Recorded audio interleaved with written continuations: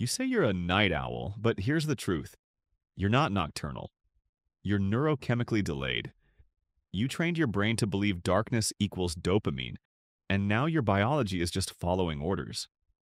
But what if I told you? You could reprogram your body's sleep-wake code using circadian neuroscience, dopamine resets, and environmental hacking, and wake up early without feeling like a zombie. Let's break your night owl code, once and for all. The truth. Night owl is a software bug, not a personality. Your sleep rhythm is controlled by your suprachiasmatic nucleus, SCN, a cluster of neurons in your hypothalamus that syncs your body clock to light. When you stare at blue light past 11 p.m., the SCN misreads it as daytime. Melatonin, your sleep hormone, gets delayed. Cortisol, your alert hormone, spikes late. Result, you're tired in the morning, wired at night, and stuck in a biological time lag. You're not lazy. You're running your system in the wrong time zone. Let's reset that system. Step 1. The biological jet lag reset. Think of this like shifting from New York to Tokyo, but without the plane ticket. Here's the gradual rewiring protocol. 1. Micro phase shifting, 15 to 20 minutes per day, Move your sleep and wake times 15 to 20 minutes earlier, every two to three days. Why it works. Your circadian rhythm adapts slowly to light cues and temperature cycles. This gradual shift prevents your cortisol melatonin timing from crashing. 2. Light reprogramming. Your eyes are the steering wheel of your body clock. 10 minutes of natural sunlight within 10 minutes of waking. Even cloudy works. Zero bright light exposure one hour before bed. If you must use screens, install F-Lux or Night Shift and wear amber glasses.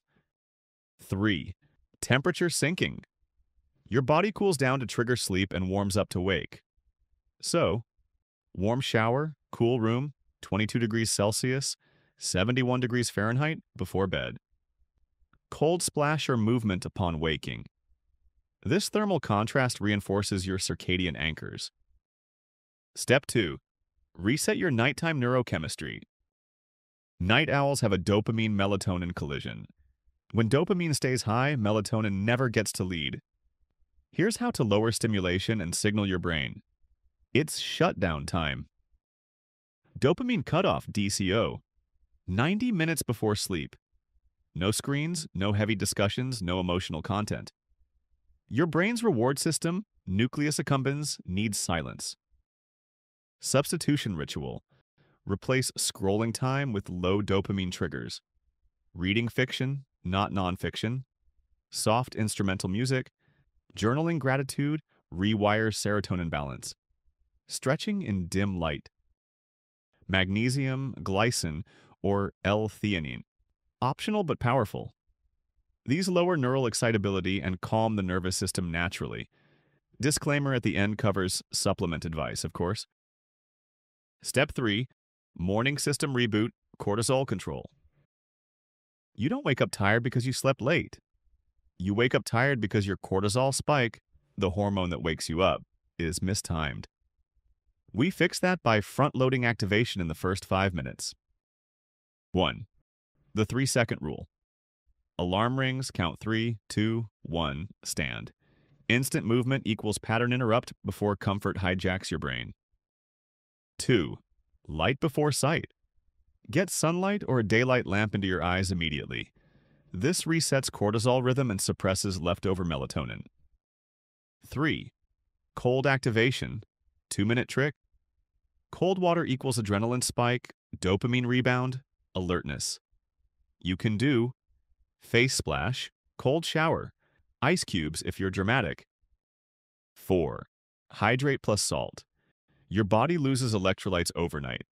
A pinch of salt plus water instantly stabilizes blood pressure and alertness. 5. Movement priming.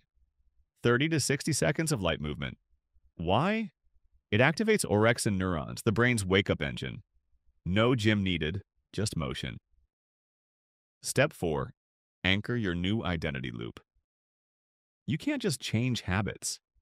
You have to change your self-concept because your brain listens to your identity narrative more than your alarm clock. Morning mantra upgrade. I don't wake up early to be productive. I wake up early because I'm not who I used to be. Micro win tracking. Every morning you win equals market. Even three out of seven days means progress. Perfection kills consistency. Habit pairing link. Early wake ups with dopamine neutral rewards. Sunrise playlist. Favorite breakfast. Journaling with coffee.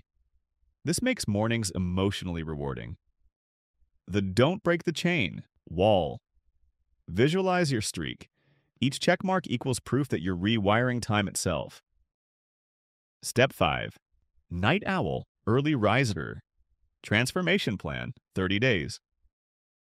Week 1. Move bedtime, 15 minutes earlier daily. Eliminate blue light one hour before bed. Wake up at the same time, even weekends. Week 2. Add morning sunlight exposure. Cold activation routine. Morning water plus salt ritual. Week 3. Insert PM wind down routine. Fiction stretch journaling. Remove late dopamine triggers. Reward early wake ups with positive reinforcement. Week 4. Reinforce identity shift. I am an early builder. Sleep quality optimization. Five full 90 minute cycles. Keep streak visible. Celebrate, don't reset. You're not forcing yourself to wake up early. You're reprogramming your biology to want it. Step 6. When you fail, reset, don't restart. Failure doesn't break the loop. Quitting does. If you oversleep, don't shame yourself.